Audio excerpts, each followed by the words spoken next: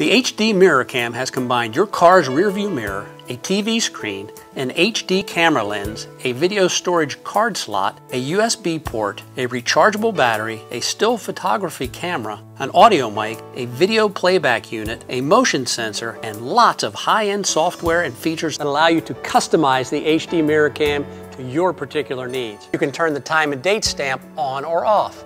This way you can officially put the stamp on the video to prove your case.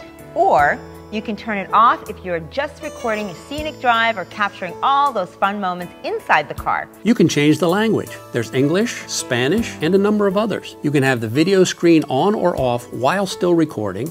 You can even turn on and off the motion detection. Now this is really incredible. With the motion detection, it will actually turn on once it detects motion.